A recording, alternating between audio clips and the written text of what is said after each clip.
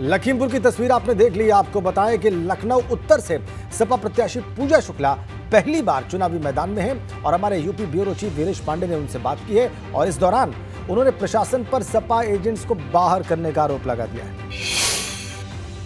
नई हवा है, नई सपा है और लखनऊ की सबसे कम उम्र की उम्मीदवार समाजवादी पार्टी की 26 साल की पूजा शुक्ला हमारे साथ हैं, जो उत्तरी से प्रत्याशी हैं।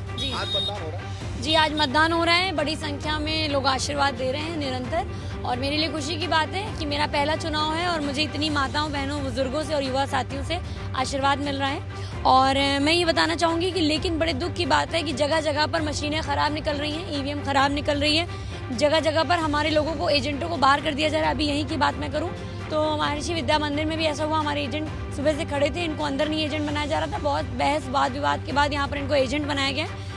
बायस चुनाव करने की कोशिश की जा रही है लेकिन अपार जन समर्थन मिल रहा है और मुझे लगता है कि 2022 में जो 10 मार्च को परिणाम आने वाला है विजय सुनिश्चित है। अच्छा लड़कियों की सुरक्षा भारतीय जनता पार्टी का मुख्य एजेंडा है? तो लड़कियों की सुरक्षा उन्होंने दिया है तो फिर अ, तो समाजवादी पार्टी कैसे मुकाबला पूरे उत्तर प्रदेश के अंदर महिलाओं ने देखा है पूरे उत्तर प्रदेश ने देखा है हाथरस में एक दलित परिवार की बेटी को आधी रात में जला करके मार दिया गया।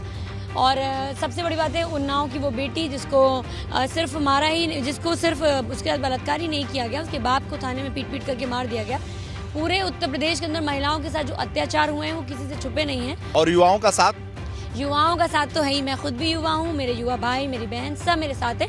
बुज़ुर्गों का आशीर्वाद सुबह से मिलना शुरू हो गया है युवाओं का साथ मिलना शुरू हो गया है। निश्चित 2022 में 10 मार्च को परिणाम आएगा और उत्तर विधानसभा के गरीब परिवार की बेटी विधायक बनेगी। पूजा शुक्ला का आत्मविश्वास आपने देखा? कैमरामैन हरिओम के साथ वीरेश पांडे, शहर उत्तरी लखनऊ। लखनऊ की बात हो रही है तो